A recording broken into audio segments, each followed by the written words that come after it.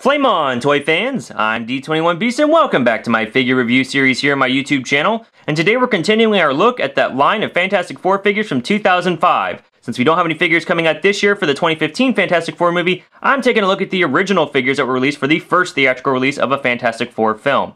Before you, we've got the Flying Human Torch figure. Now, in the 2005 Fantastic Four film, the Human Torch, Johnny Storm, was actually played by actor Chris Evans who had a pretty respectable start to his film career at this point, but hadn't yet hit it huge before this movie, and of course he would later on be much better known as Captain America. And while the Chris Evans you see on film today is certainly more ripped than he used to be, he doesn't get to be as funny as he used to be on screen, and that's one thing I really like about this version of the Human Torch from the Fantastic Four films.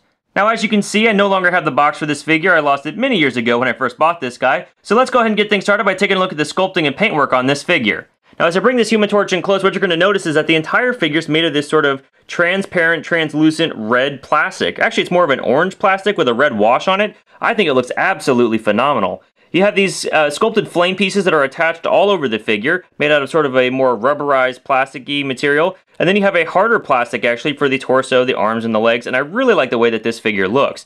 You can see through the uh, appendages everywhere you look here. They just have the paint wash as I mentioned before, and there's some really nice sculpting detail. Even though you can see through the figure and he's not really painted that much, you can see that the costume has been fully sculpted along this figure, both on the legs, the boots, the hands. We do have the Fantastic Four emblem here on the chest, and while it's kind of hard to make out, I do think the likeness for Chris Evans is there in the face. So this is a really cool looking figure. I get the impression that Toy Biz was experimenting a little bit when they made this figure, but the end result I think is really, really nice, and I'm glad that they put the effort in. Let's just take a quick closer look here at the flame detail on the back of this figure. Look at all that sculpting on this flame piece that's been glued on the back and on the shoulders, even on the head. You've got sort of a fade from a darker red to a lighter yellow, and there's just so much work put into that. It looks really, really nice and definitely gives the illusion of fire. For those of you who watched my Secret Avengers Stealth Suit Captain America review, you may remember in that review I kind of praised the Toy Biz versions of these Chris Evans figures for having a better likeness than what Hasbro had given us, and I still believe that. But in case you missed that review, let me go ahead and pan across the faces of each one of these figures, and you'll see interestingly that the likeness to Chris Evans tends to go down as the newer figures come out. But I definitely think Flying Human Torch has a decent likeness to actor Chris Evans. Flying Human Torch came with all the accessories that you see here, plus one you don't.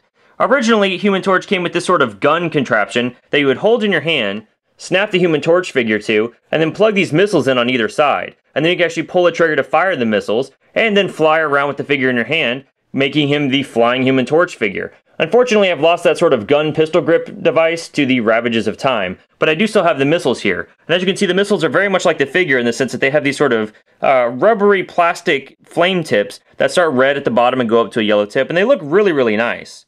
The accessories are kind of useless to me now, but if you can find the figure new in box, you might enjoy having the ability to kind of play and fly your figure around.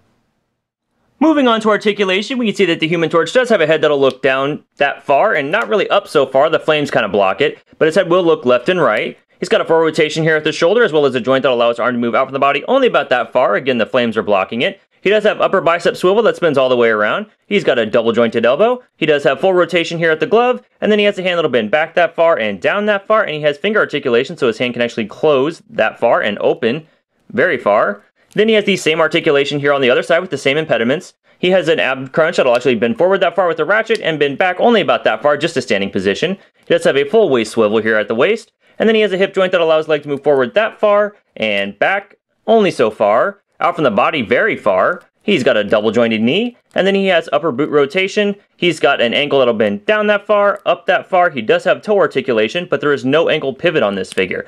Really though, a great range of motion for a movie tie-in toy. I wish the neck joint was a little more freed up, but overall, a really great range of articulation. Height-wise, we can see that Flying Human Torch does stand right about 6.5 inches tall. For some size comparison, here we have Flying Human Torch compared to the Snowboarding Human Torch figure from this same toy line. Admittedly, Snowboarding Human Torch is a bit out of scale. And once again, here we have Flying Human Torch compared to the Avengers Captain America movie figure and the Captain America Winter Soldier Stealth Suit Captain America, and of course, all three of these figures were inspired by actor Chris Evans' portrayal of each of these characters. Here we have Flying Human Torch compared to the Marvel Legends Fantastic Four box set Human Torch figure. And just for fun, here we have Flying Human Torch compared to the 90s Happy Meal Human Torch figure, based off the 90s animated Fantastic Four series. And finally, here he is compared to the 6-inch scale Marvel Legends Infinite series Wolverine. How are you feeling, Bob? Would you believe me if I said hot, hot, hot? yeah. Alright, toy fans, well that's my review of the Fantastic Four Flying Human Torch figure released by Toy Biz in 2005. Overall, I think this figure is actually pretty nice. I'm a big fan of the way that Toy Biz chose to do this sort of translucent reddish-orange plastic and then put the wash over it like they did. I think that the flame accessories that have been sculpted and added onto the figure actually really enhance the look of the figure. The only complaints I have about this figure's overall look is that the pins inside the joints tend to be made out of a darker colored plastic and at times and at certain angles can distract from the overall look of the figure.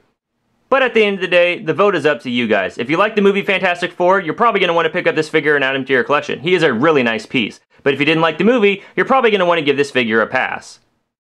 Well, thanks for watching this review, guys. I hope you enjoyed it. If you like what you saw here, please feel free to rate, share, subscribe, and we'll catch you next time.